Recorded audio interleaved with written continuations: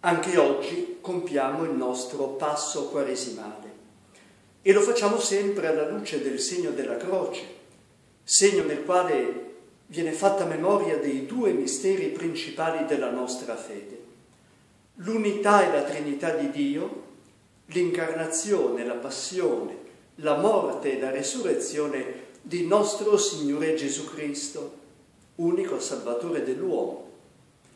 Un mistero nel quale ci viene rivelato ovviamente Dio come mistero unico, ma non di solitudine, di comunione, perché abbiamo visto tre sono le persone, il Padre, il Figlio e lo Spirito, e diciamo i loro nomi proprio ogni volta che facciamo il segno della croce, nel nome del Padre e del Figlio e dello Spirito Santo.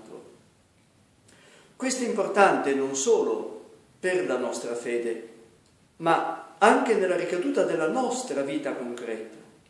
Perché? Perché noi siamo fatti ad immagine e somiglianza di questo Dio, di un Dio che è comunione.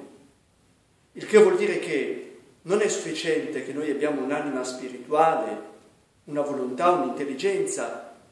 Per realizzare questa immagine dobbiamo rimanere in comunione gli uni con gli altri, ma non una comunione qualunque, la comunione che ci viene proposta e donata nel Signore Gesù, una comunione che si fa salvezza gli uni per gli altri proprio perché accoglie il mistero della salvezza che lui ha portato e vissuto e compiuto in mezzo a noi.